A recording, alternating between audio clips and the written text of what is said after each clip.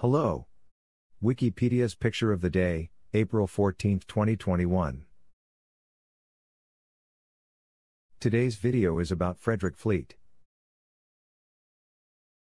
Frederick Fleet, 1887 to 1965, was a British sailor, crewman and survivor of the sinking of the Titanic after the ship struck an iceberg in the North Atlantic at 11:40 p.m. on April 14, 1912.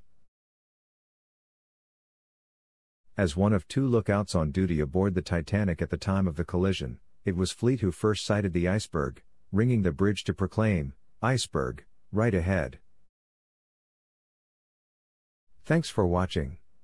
And don't forget to like, comment, and share.